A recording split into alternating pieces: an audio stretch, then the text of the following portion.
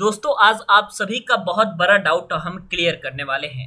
आप सभी स्टूडेंट के पास एक बहुत बड़ा डाउट था और वो डाउट दोस्तों आप लोगों का ये था कि क्या सच में सर अगर हम पॉलिटेक्निक एंट्रेंस एग्ज़ाम देते हैं तो अगर हमने 400 अंकों में से अगर हमने मात्र 100 अंक भी ला दिए तो क्या सच में पॉलिटेक्निक में सरकारी कॉलेज मिल जाता है? और सर क्या पिछले बेर का डाटा क्या था? जिसके कारण आप ऐसा कह रहे हैं, क्योंकि मैं आपको बताऊँ कि हम लोग जो है पॉलिटेक्निक एंट्रेंस एग्ज़ाम की काउंसलिंग के साथ साथ आप लोगों का कॉलेज में एडमिशन के प्रोसेस से लेकर के सारी चीज़ों में इन्वॉल्व रहते हैं, जिसके कारण हमें जो है पूरे प्रोसेस के बारे में मालूम है। और पिछली बार क्या, मैं पिछले पाँच साल का कट ऑफ़ आपका दोस्तों बता सकता हूँ कि आपको कितने नंबर पे सरकारी कॉलेज मिला था। तो आइए दोस्तों, आज के इस ट्रूथ को रिवील करते हैं और हम आपको बताते हैं कि आपको at least government polytechnic college में एडमिशन लेने के लिए आपको कितने अंकों की ज़रूरत होगी, ठीक है? तो फटाफट आप दोस्तों हमारे चैनल पांडे जी टेक्निकल 2.0 को सब्सक्राइब कर सकते हैं और बेल आइकन को प्रेस कर सकते हैं ताकि आपको लेटेस्ट वीडियो की जानकारी सबसे पहले मिला करें।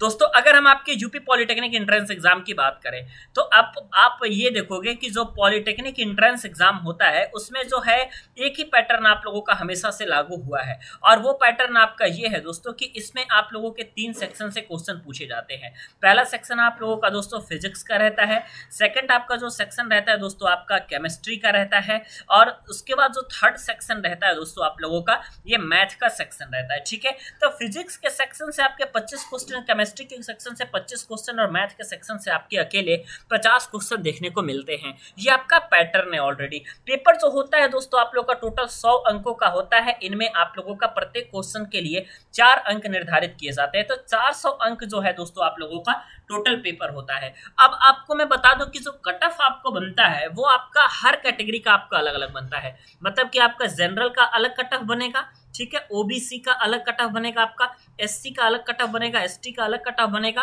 और जो आप लोगों के, मान लीजिए कि कोई आपका भूतपूर्व सैनिक वगैरह है, उनका अलग कट ऑफ़ बनता है फ्रीडम फाइटर वगैरह का अलग कट ऑफ़ बनता है, ठीक है? इसके अलावा अगर कोई गर्ल कैंडिडेट है, या फिर अगर कोई विकलांग कैंडिडेट है तो उनके लिए अलग कट ऑफ़ बनता है, ठीक है? तो हर व्यक्ति के लिए अलग अलग सीटें आपकी निर्धारित की जाती हैं आपके पॉलिटेक्निक में, ठीक है? अब मैं बताता हूँ कि कैसे आपका काउंसलिंग होता है। सबसे पहले आप ये जानिए कि अगर आप जनरल कैटेगरी से बिलोंग करते हैं और अगर आपके पास ई डब्ल्यू एस का सर्टिफिकेट नहीं है तो निश्चित तौर पे आपका कट ऑफ़ हाई जाएगा, उसमें कोई समस्या की बात नहीं है। लेकिन आपको मैं बता दूँ कट ऑफ़ उतना भी हाई नहीं जाता बिकॉज़ आजकल हम ये देख रहे हैं कि पॉलिटेक्निक इंट्रेंस एग्ज़ाम का फॉर्म जो है, वो काफ़ी कम फील किया जा रहा है। मतलब ये रियलिटी है दोस्तों।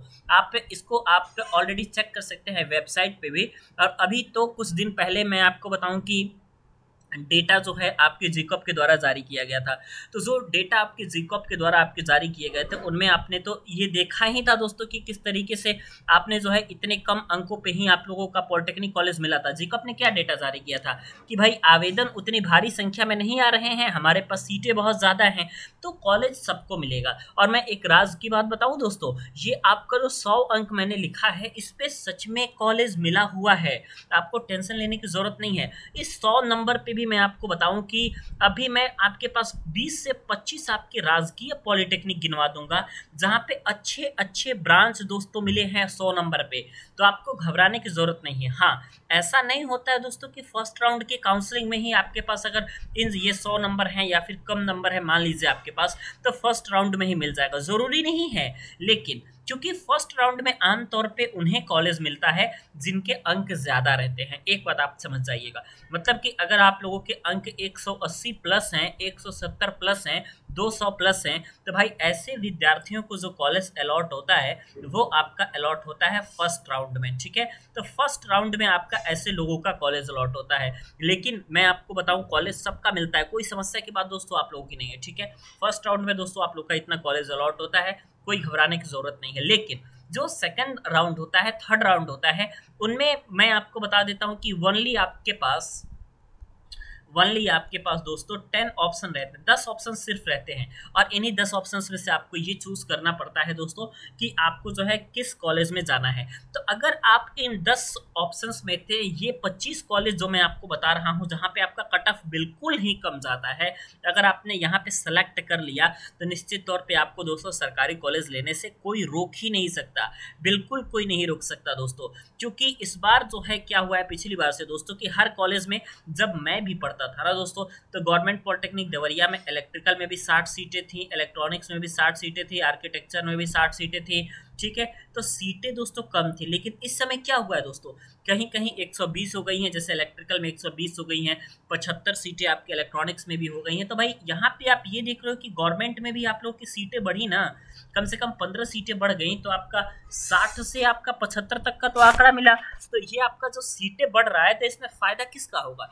डायरेक्टली फ़ायदा दोस्तों आपके एंट्रेंस एग्ज़ाम के स्टूडेंट्स का होने वाला है। अब जो है, बहुत ज़्यादा विद्यार्थी आपके प्राइवेट पॉलिटेक्निक कॉलेज में नहीं भटकेंगे। और निश्चित तौर पे उन्हें सफलता मिलेगी। सरकारी पॉलिटेक्निक कॉलेज में उनका एडमिशन हो करके रहेगा। आपको बिल्कुल टेंशन लेने की ज़रूरत नहीं है, ठीक है? तो फटाफट दोस्तों बता दीजिए कि आपको वीडियो कैसी लगी? और काउंसलिंग रिलेटेड इन्फॉर्मेशन के लिए या अन्य किसी भी इन्फॉर्मेशन के लिए दोस्तों, आप क्या कर सकते हैं? हमारे YouTube channel Pandey ji technical 2.0 को सब्सक्राइब कर सकते हैं। बेल आइकन को प्रेस कर सकते हैं ताकि आपको लेटेस्ट वीडियो की जानकारी सबसे पहले मिला करे। तो चलिए दोस्तों, मिलते हैं आपसे। नेक्स्ट वीडियो में।